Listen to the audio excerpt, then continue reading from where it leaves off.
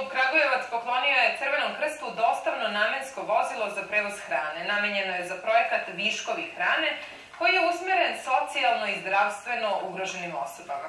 Do sada su se prikupljeni viškovi hrane za 180 korisnika delili dva puta sedmično, na punktovima Crvenog krsta.